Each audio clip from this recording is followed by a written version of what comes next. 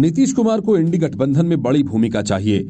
ये बात तो पटना में हुई पहली बैठक से होती रही, लेकिन नीतीश कुमार को कोई भूमिका नहीं दी गई। लेकिन जब से नीतीश कुमार दिल्ली बैठक से नाराज़ होकर निकले, अपनी पार्टी के राष्ट्रीय अध्यक्ष ललन सिंह को पद से हटाया, उसके बाद से ये खबर सुनियोजित तरीके से फैलाई गई कि नीतीश कुमार के गठबंधन का संयोजन बनाया जाना था, लेकिन कुछ हो गया, उसके बाद से लेकर अब तक बातचीत हो रही है। ऑफ़र दिया जाएगा, ऑफ़र दे दिया गया। और बात यहाँ तक आ पहुँची कि लालू प्रसाद की मौजूदगी में मल्लिकार्जुन खड़गे ने नीतीश कुमार से बात की और कहा कि उनको लेकर विचार किया जा रहा है। लेकिन बड़ी बात यह कि ना तो नीतीश कुमार और उनकी पार्टी और उनके कांग्रेस ने ही इसकी कोई पुष्टि की है। मतलब कि सारी बातें हवा हवाई हैं। कांग्रेस नेता मीम अफजल ने कहा कि नीतीश कुमार को संयोजक बनाने का सवाल ही नहीं उठता। मल्लिकार्जुन खड़गे, लालू यादव और नीतीश कुमार की किसी बैठक से इनकार कर दिया। लेकिन खबर ये आई कि कांग्रेस अध्यक्ष मल्लिकार्जुन खड़गे की नीतीश कुमार और लालू यादव के साथ बैठक हुई। इस बैठक में सीट शेयरिंग के साथ साथ नीतीश कुमार को गठबंधन का संयोजक बनाने को लेकर चर्चा हुई।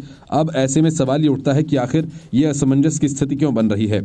नीतीश कुमार की बड़ी भूमिका तय करने के लिए जेडीयू नेताओं के द्वारा लगातार मांग की जा रही है। अब चुनाव के लिए चंद महीनों का इंतज़ार बचा है। इसके बाद भी तस्वीर साफ़ नहीं हो पा रही है। इससे पहले संजय झा ने गठबंधन में नीतीश कुमार को मिलने वाली विशेष ज़िम्मेदारी की चर्चा को लेकर कहा कि उन्हें कोई जानकारी नहीं। इसके अलावा आरजेडी सांसद मनोज झा ने नीतीश कुमार को संयोजक बनाए जाने की बात कही। उन्होंने कहा कि ऐसी जानकारी नहीं है। वे भी खबरों में सुन रहे हैं। अभी तक कुछ ठोस नहीं है। इतना ही नहीं, नीतीश के एक और करीबी मंत्री विजय चौधरी ने भी इस बैठक की जानकारी नहीं होने की बात कही। इस पूरे प्रकरण पर बीजेपी की भी प्रतिक्रिया सामने आई।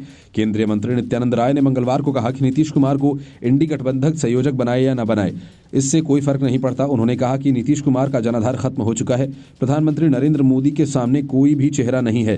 आगामी लोकसभा चुनाव के लिए सीट बंटवारे के फॉर्मूले का निर्णय लेने के लिए पिछले सप्ताह कांग्रेस ने राज्य इकाइयों के साथ कई बैठकें की। कांग्रेस के गठबंधन पैनल ने 10 से अधिक राज्यों के नेताओं से मुलाकात की। सूत्रों के अनुसार कांग्रेस 290 से अधिक सीटों पर अकेले चुनाव लड़ने और उन राज्यों में चुनाव लड़ने पर विचार कर रही है, जहाँ वह गठबंधन में हैं। मल्लिकार्जुन खड़गे ने जब नीतीश कुमार के साथ बातचीत की तो उस दौरान आरजेडी, सुप्रीमो, लालू प्रसाद यादव भी मौजूद रहे। बताया जा रहा है कि कांग्रेस अध्यक्ष ने सीएम नीतीश कुमार और लालू प्रसाद यादव के साथ वर्चुअल मीटिंग की। बताया जा रहा है कि इस बैठक में तीन नेताओं ने बिहार की सीट शेयरिंग को लेकर बातचीत की। Report, news of India.